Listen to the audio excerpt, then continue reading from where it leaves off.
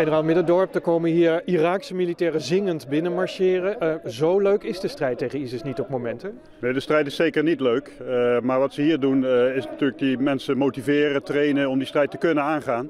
En die groepsbinding die je hier hoort, die hoort er ook bij.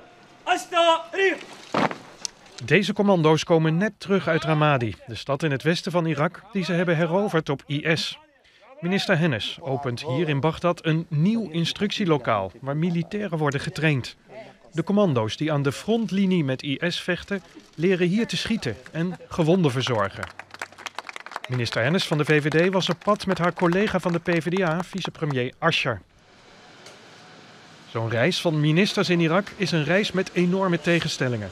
Aan de ene kant de keiharde confrontatie met het gevaar van rondrijden in een oorlogsgebied. En aan de andere kant de goed bedoelde ceremonies van lintenknippen en de inspectie van de erewacht.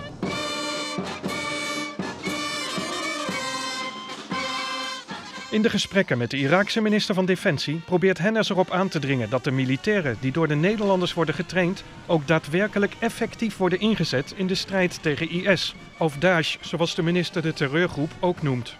De groei die het Iraakse leger doormaakt is groot en dat is ook goed, want we hebben ze hard nodig. Uiteindelijk kunnen we niet alleen maar met een luchtcampagne Daesh verdrijven, ook op de grond zijn er sterke uh, troepen uh, noodzakelijk. Waar gaat u heen? Ik ga nu naar de premier.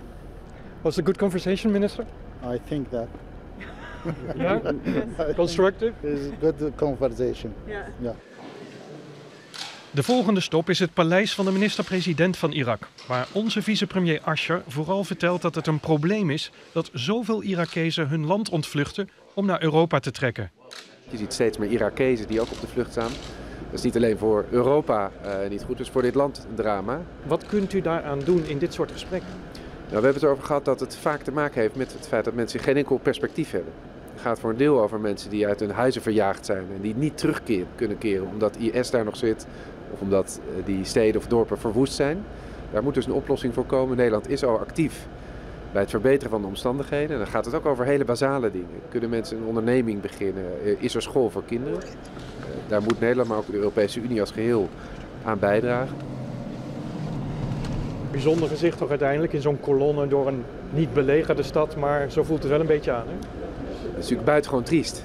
Uh, als je, het, is, het wemelt van de veiligheidsmaatregelen, dat is helaas nodig.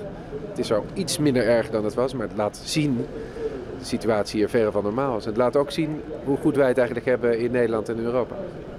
Binnenkort moet het kabinet een besluit nemen over de vraag of de inzet van Nederland tegen IS vergroot kan worden. Om dat soort besluiten te kunnen nemen, laten ze zich graag bijpraten door de militairen hier van de internationale coalitie. Daesh is being defeated. Um, th there is no doubt about it. They will be defeated now, and and you know we're no longer talking ifs. We're talking a question of when. You know that the, their confidence and their ability is being degraded all the time. Uh, at the same time, the government of Iraq is getting stronger politically, militarily, and economically. So it is just a matter of time before Daesh is defeated. And I think that's a critical message that people need to understand.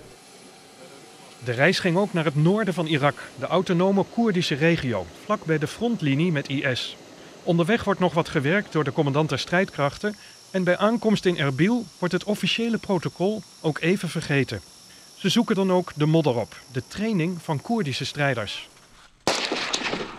Ze leren hier echt hun schietvaardigheden te verbeteren. Dat is vaak ook nodig. Een aantal Peshmerga die zijn natuurlijk al ervaren, maar er zijn ook een aantal die echt nog aan het begin staan van een militaire carrière. En dan is zo'n basistraining cruciaal. When ISIS is defeated, what will you do in the future after this? بصراحة يعني إن شاء الله إذا نواجه داعش وتخلصنا منهم إن شاء الله بمساعدة الدعم الدولي طبعا وإن شاء الله الكل يرجع على مناطقه ويرجع السلام والأمان لبلدنا. is ISIS militair te verslaan? Mocht je ze terugdringen, misschien op grondgebied, dan zal het gedachtegoed op blijven bestaan. Maar ISIS, um, uh, een van de aantrekkingskrachten uh, um, van ISIS is uh, het feit dat ze steeds weer militaire successen hebben geboekt. En het breken van die militaire successen blijft dan ook nog steeds een prioriteit. Blijft over de ideologie. Mensen die zich gefrustreerd voelen en tegen het Westen willen vechten. Maar kijk, het militaire spoor is alleen is nooit genoeg. Dus het gaat altijd hand in hand met een politiek spoor en een humanitair spoor. Um, maar het breken van de militaire successen is echt cruciaal om überhaupt een organisatie als ISIS de kop in te drukken. De VVD-minister en de PvdA-vicepremier zijn in goede harmonie op pad en zijn het eens over de inzet die Nederland nu doet. Dus als we hier te lang zouden blijven zitten, gebeurt er dit. Toch zijn ze het inhoudelijk nog niet eens over de vraag of Nederland ook boven Syrië zou moeten gaan bombarderen. Als ze dat willen, dan kan het, zegt de hoogste Nederlandse militair. Nou, ik denk dat we nu een hele mooie bijdrage leveren. Uh, de discussie over het verbreden van het mandaat betekent niet dat we extra middelen hier naartoe gaan sturen. betekent dat we uh, de middelen ruimer kunnen gaan gebruiken. En daar gaat de discussie nu over? Ja.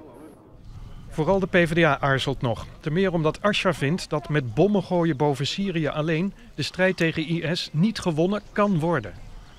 Vlakbij is het oorlog, dus er komen doden en gewonden. Uh, het is een gebied waar je van begrijpt dat mensen ook op de vlucht slaan. Uh, ik ben heel blij dat men nu het initiatief heeft overgenomen, dat we een nieuwe fase ingaan. Maar daarmee ben je er nog lang niet. Het gaat natuurlijk ook niet alleen om het militaire succes, wat hier nu geboekt wordt. Het gaat ook om dat het politiek stabieler wordt in deze regio. En dat we ook de ideologie van het kwaad ontmantelen.